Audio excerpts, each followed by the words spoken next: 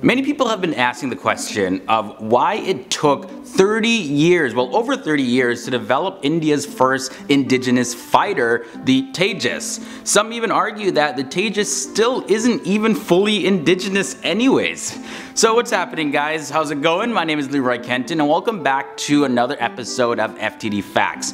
Now the project was sanctioned in 1983 to replace the old aging MiG-21 aircraft in the Indian Air Force. However, the Indian Air Force planned to have an indigenous jet set up and ready to go in 1994 missed several deadlines. So I'm sharing with you 10 reasons why it took so long. So the first thing you gotta note is that the failure to build an engine indigenously was one of the biggest issues from the get-go.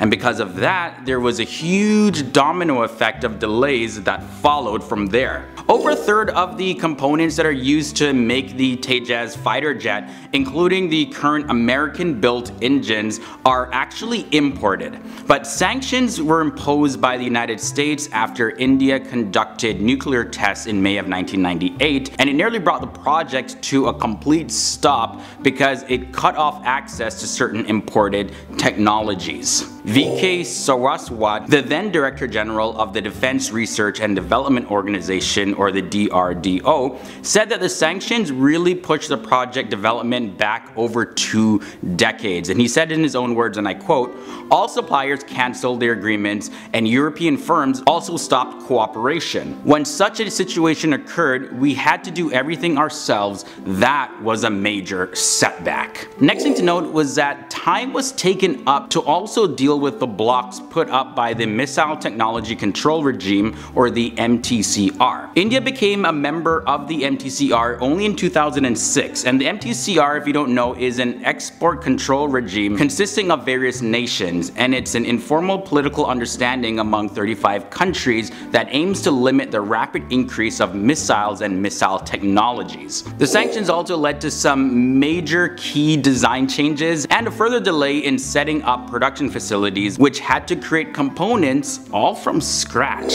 The deadline stretched further with the air headquarters involving itself in the project only in 2006 and this was five years after the Tejas made its first test flight. And the longer it took, of course, the more expensive the project became. So check this, initially this project was greenlit at a cost of $78.5 million US for the program. However, the development cost of the fighter stood at over 1 billion dollars US at the time that the Tejas was inducted into service. That of course is a massive difference in price. But also the delay set the Indian Air Force back by nearly $3 billion in total because it had to spend money on things like upgrading its existing planes for military use. The cost of the Tejas were to go to replace old aircraft but of course the Tejas wasn't built yet so they had to put money and resources into those old aircraft to make sure they don't crash while they're up there in combat. Now the second last thing is that the Tejas had 50 Three significant shortfalls, that they were called,